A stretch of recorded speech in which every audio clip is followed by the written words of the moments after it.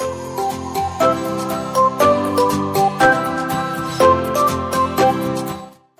ladies and gentlemen, you are welcome once again to my channel. My name is Sola John and I'm glad that you are here.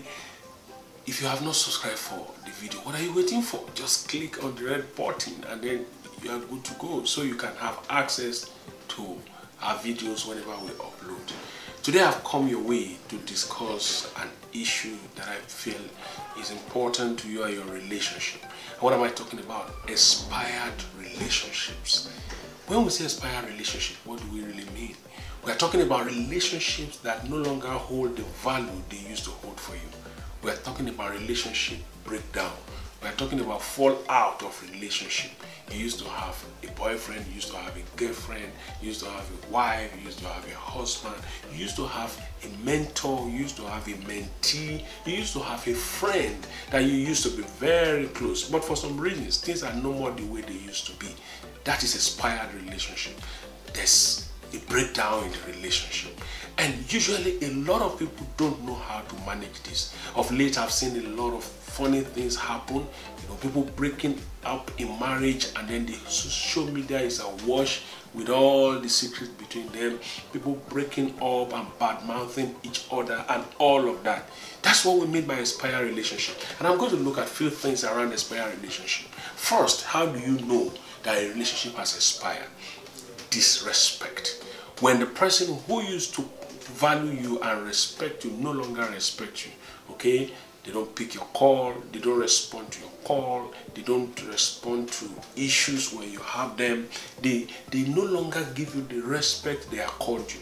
Perhaps because of what they heard about you, perhaps because of what they think about you. For whatever reason it is, when you get to see that, it's a sign that there is a problem. Okay? Sometimes it's disloyalty. Someone who used to listen to you, hear you out, who was very loyal, could keep secret, is no longer like that. Okay? You know that something is fundamentally wrong. Or inability to keep secret. When someone who you used to confide in begins to betray your confidence, okay, and then you give them information and they are no longer able to manage it the way they used to be, you know, there is already a problem. Or maybe the person is even bad mouthing you behind you, okay, is saying things about you that you get to hear. You know, sometimes how these things work, okay, they, they trust. Uh, you trust B, B trust C, C trust D, and D trust you. So they tell what you have told them, they go tell someone else. I had a very, uh, I, I, I, I, watched a particular pathetic story of a woman who had a friend and, and, and she truly felt she loved her friend and they were close friends. And so she will often talk about what happened between her and her husband to her friend. You know, unknown to her, the friend was relating the story to her husband. And there was a particular day, the last straw that broke the camel's and the horse's back, was when she had an issue with her husband, a little altercation, and she went to make a call to her friend just to get some advice on what to do. And she didn't know that her friend placed her on conference call and the husband was getting everything that they were discussing outside. And as soon as she returned to the house, the husband pushed all her luggage out. And guess who the husband married? Her friend you know that bad that bad. So when when you begin to see things like that bad mouthing people not able to keep secret disloyalty get to know just get to know early enough that the relationship is expiring. Or mockery okay? When formally when you tell your friend this is what is happening your friend is running helter skelter saying how to help you. Now the same person is laughing at your travail is is making jest and is not taking it serious. Certainly there is already a problem with the relationship or breakdown in communication. When the person is now cold towards you is not willing to open up you are willing to share all your secrets or you are willing to share your problem but the person wouldn't share anything with you okay? Perhaps they have found third party or someone else they could share with. You already know that there is something happening to the relationship and it's expiring. I'm not going to deny the fact that um, the, the, the relationship can expire sometimes because some people have found better persons or they're fed up with you or whatever it is whatever it is when relationship expire be willing to accept and to acknowledge that something is happening and be willing to take action. Don't pretend as if you don't know something is happening. It could hurt you in the long run because you could be jolted, and when you are jolted to reality, you will not like it. All right. So what do you do in such place in such times? First thing to do is to create a distance. Okay, step back a little. Don't keep pushing yourself on the person. The guy doesn't want you. Don't keep pushing yourself on him. The lady doesn't want you. Don't keep push, pushing yourself on her. Okay, ensure that you take a little break. Okay, assess the situation. When you take a break, don't even don't even rush into another relationship. No, evaluate it. What did I do right? What did I not do right? What did he do right? What did he not do right? What did she do right? What did she not do right? Evaluate yourself, evaluate the person. Then you are able to come to conclusion that sometimes you may be wrong or the person is wrong. And then when you have been able to do that, examine yourself and ask yourself, do I still want to continue with this relationship? And if I'm continuing with this relationship, will I be able to give my best to it? When you have been able to, to do that, then it's time to hold a conversation, crucial conversation. Sit down with the person or however you want to hold the conversation. I notice this, I notice this, I notice that. Then while the conversation is going on, watch the body language, watch the reaction, okay? Watch if the person will accept or deny what you are saying. If the person accepts and apologizes, then you know that there is hope there. If the person denies all that you are saying, it could be a red flag, okay? A person could know what they are doing, but they will deny it. And so you need to just be very careful. And then that's why I say you should watch the body language.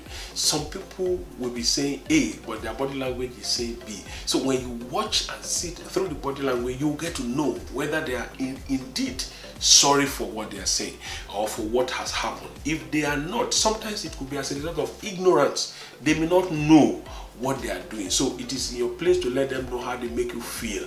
If they still did not accept that, then you need to reevaluate. Okay, so you decide on the next line of action. If you decide to go away, please close the door gently. Now, I'm not saying you should not you should not leave a relationship. I've had people say to me, if I don't leave that relationship, probably one of us will die. Okay, because there are tensions, okay, that they are trying to grapple with. And so they respect that. But if you must close a door, close it gently. What does that mean? There are things you must not do. There are things you must not say to someone you have once loved. I know I see people who sometimes they have had they've, they've taken snapshot with people, okay, and because they are now having the misunderstanding. Back in the days when we used to print pictures, they go back to the pictures they took together when they were friends, and they begin to tear it up. Now that's not wisdom. Yeah, you might want you you might think you are doing everything to remove the memory of the person from your life. But I want you to know as long as you have breath, you can't erase people's memory. Sweet memory, bad memory, they may not be as painful as it used to be. The memory will always be there. You may forget some part of it, but you can't erase it completely. So it is the onus is on you to forgive and to let go of the painful part of the relationship.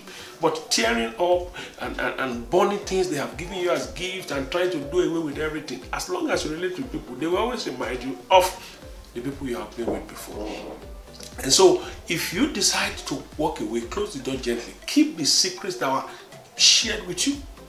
Make sure you don't you don't leak the secrets because these secrets were kept when the going was good. And one thing you need to realize is that the person doesn't live where he used to be any longer. The person may be battling with certain areas of their life when they told you that, and they may have overcome it. So you talking about their past doesn't represent who they are. And don't forget, if you choose to leak the secret, people that are in your life now, they will be careful with you. They will always think that you cannot be trusted. And so they will be guided around you. So how do you move on if you choose to leave the relationship? Learn your lesson and move on. Okay? Maybe you have been over trusting. Learn not to be over trusting. Maybe you have been uh, caustic or acerbic in your use of words. Learn not to do that. Maybe you have been over dependent. Learn not to be over dependent. Learn your lesson. There are always lessons to learn. We either win or we learn, not lose. We don't lose. Okay? If only we would take our lessons, we don't lose. So learn your lesson, like we used to say in Nigerian palace. Take your L and move on. Just learn your lesson. Let it be ingrained on the tablet of your heart that you know what to do next time when you see a similar person who is like this. Then what else do you do? Beware of making new friends immediately. Some people jump out of a relationship and the next thing they they make friends with their sympathizers. I mean, I've seen people who who have a, a, broken down relationship that should lead to marriage and then someone was there to comfort them the next thing they do is to marry the person. Now you need to be very careful. You need to be careful that you don't uh, you don't just move on and then you you move into another relationship immediately. There's something you need to do. You need to be whole. You need to be well. You need to be healed okay? And what does that mean? You need to to learn the mistakes and accept your weaknesses and you are not out to impress people now in fact, you are not out to be selfish, self-seeking, neither are you out to please people. When you understand that, you know that you are on your way to healing, you are on your way to perfect healing, you are on your way to complete healing. Okay? And then it is when you have owned your weaknesses, okay, that's when you can be prepared for another relationship. And so usually if it was a relationship that has to do with marriage or something, I will always advise between six months and one year because probably some takes longer. Probably you will have been able to heal from it. You will have been able to see the errors you have made, the mistake. You cannot completely be free of error. You cannot put the whole blame on your partner. You have your own blame. And until you can own your own blame and accept that this is my own permit me to use the word. Well, I don't want to use that word. You have you can say these are my own errors, these are my weaknesses, and I have accepted them. You are not ready for another relationship because you are likely going to still go blame the other person. And then so what do you avoid? Avoid bitterness and resentment, okay? That that thing in you that want a revenge, that thing in you that wants to, if I see this person, I'm gonna strangle him, I'm gonna kill. Avoid that is killing you more than it's killing the other person. You've got to understand that. Okay? Don't let bitterness stay in your heart. Don't let resentment stay in your heart. Forgive the person as if you are the only wrong person. Don't worry. Don't worry how the person is feeling. Just feel good. Okay? That you have let go. Then don't divulge secrets that have been kept with you. If the, the, the, your stomach is not only meant to keep food, okay? They are meant to keep secret. You must learn to keep some things to you. If they choose to divulge the secret to have with them, don't worry about that, okay? You just keep the one they have with you. That's the only way you can prove that you are worth your honor.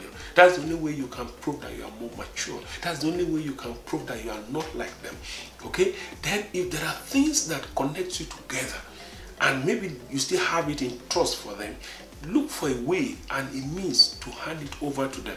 Not necessarily saying I'm going to punish him. He did it because of me. I have his password and he doesn't know it and I have it and until he pays for it. You don't need that. What is ahead of you is greater than what is behind you. So when relationship expires, learn to move on. Close the door gently just in case you need to open that door again. Sometimes you won't be there when people go to speak about you. Let people be able to say the best about you. I've had a case of somebody recommending another person. He said, well, I may not agree with the, his, his the view on so, so, so, so, but if you need someone to do the job, let this man do it for you. And because I know him. We don't agree on many things. We currently don't even speak. But I know he's going to do the job, okay? That's what it takes. But when you have lose your credibility by the way you run your mouth and the way you do things simply because there is service breakdown or because relationship has expired, remember those around they are watching. And when they are relating with you, they are preparing themselves, arming themselves, okay, to defend themselves so that they don't fall victim like the other person fall victim. Until I come your way next time, keep making impact, keep doing your best, and keep closing doors gently. Thank you.